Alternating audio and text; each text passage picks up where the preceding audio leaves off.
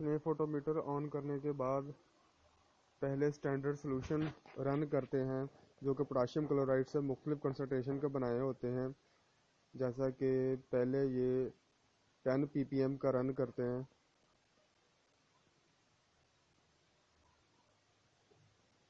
Ten ppm का ये 10 आ रहा है।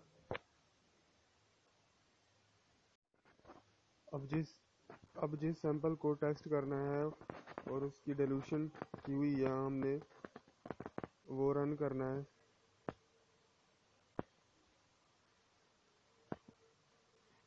और सैंपल उस वक्त रन करना है जब वापस रीडिंग ज़ीरो पे आ जाए।